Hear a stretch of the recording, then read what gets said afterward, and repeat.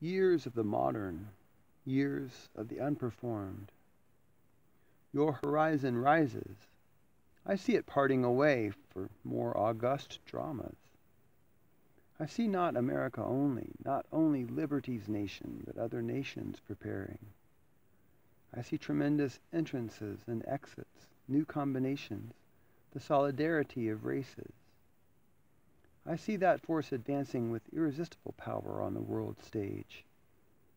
Have the old forces, the old wars, played their parts?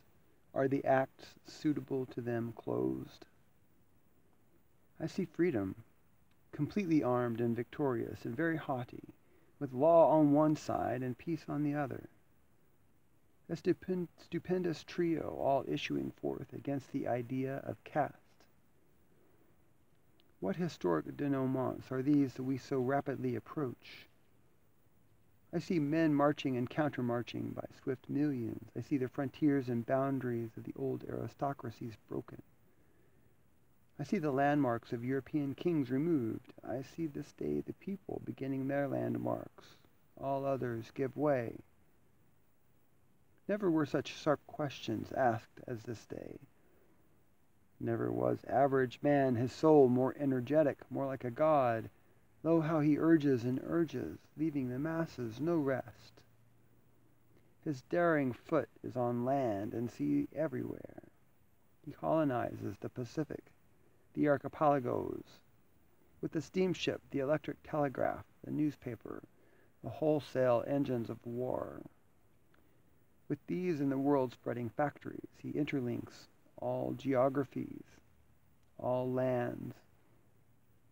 What whispers are these, O lands, running ahead of you, passing under the seas? Are all nations communing? Is there going to be but one heart to the globe? Is humanity forming en masse? For lo, tyrants tremble, crowns grow dim. The earth, restive, confronts a new era, perhaps a general divine war. No one knows what will happen next. Such portents fill the days and nights. Years prophetical, the space ahead as I walk, as I vainly try to pierce it, is full of phantoms. Unborn deeds, things soon to be, project their shapes around me. This incredible rush and heat, this strange ecstatic fever of dreams, O years. Your dreams, O years, how they penetrate through me. I know not whether I sleep or wake. The performed America and Europe grow dim, retiring in shadow behind me. The unperformed, more gigantic than ever, advance. Advance upon me,